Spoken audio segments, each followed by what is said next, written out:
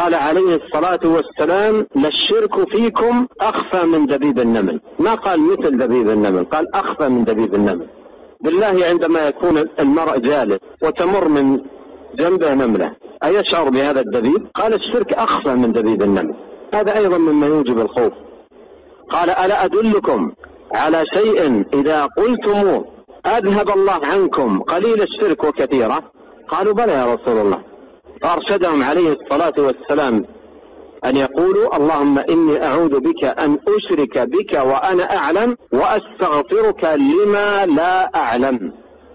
هذه دعوة عظيمة. أحفظها وحافظ عليها. وأيضا اكسب الأجر.